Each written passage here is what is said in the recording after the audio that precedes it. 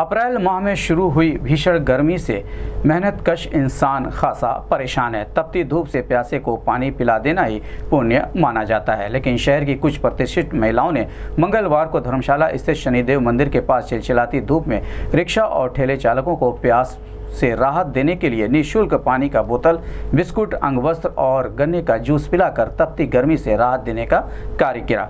महिलाओं ने आने जाने वाले सभी रिक्शा और ठेले चालकों को जूस पिलाकर राहत दिया। कार्यक्रम के आयोजक रश्मि दुलानी ने कहा कि हम लोगों के मन में भाव था। रिक्शा चालक चिलचिलाती धूप में पसीना बहाकर हम लोगों को एक स्थान से दूसरे स्थान पर ले जाते हैं। उनको इस तरह से पानी पिलाकर हमें बहुत अच्छा लगता है।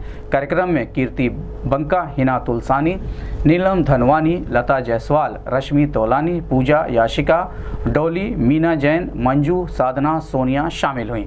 इस संबंध में गोरखपुर न्यूज़ संवाददाता से बात करते हुए रिक्शा चालक और आयोजक रश्मि तोलानी ने कहा।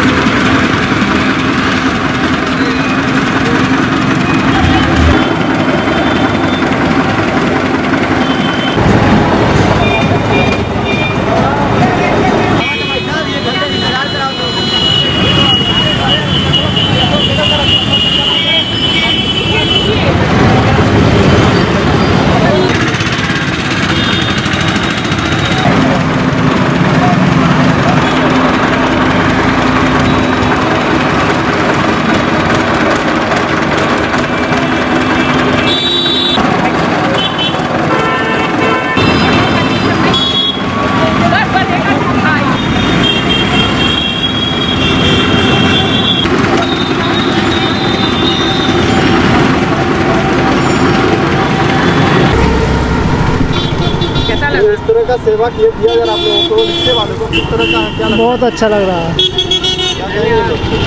बहुत धन्यवाद। का जो जी मिला है वो बहुत बढ़िया हुआ है। कोई हमारे लिए कोई हमारे लिए गरीबों को नहीं बहुत अच्छा चीज़ है। और ठीक है ना? और कोई बात नहीं है। ये सेवा किस तरह का नहीं बस हम लोग के मन में भाव था। कि हम लोग ऐसी जगह ये चीज़ दें जहाँ जेन्यून ये लगे। भाई लोग देते हैं कुछ आश्रम यहाँ वहाँ वो सब ठीक है अपनी जगह पे। लेकिन जो रिक्शे वाले हैं जो पूरा पसीना बहा के इस चिल्लाती धूप में हम लोग को ले जा रहे हैं ले आ रहे हैं। बहुत दुख होता है उन लोग को देख के।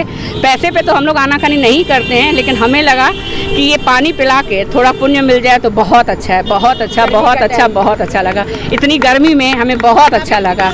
बहुत चीज़। और मैं एक, अकेले में ये नहीं हूँ, ये सारे लोग हैं जिसने हम सब लोगों का साथ दिया है। इसमें एकजुट कई लोग तो अभी आए नहीं हैं, लेकिन उन्होंने भी इस कार्य में हम लोग का बहुत सहयोग दिया है, बहुत ज़्यादा।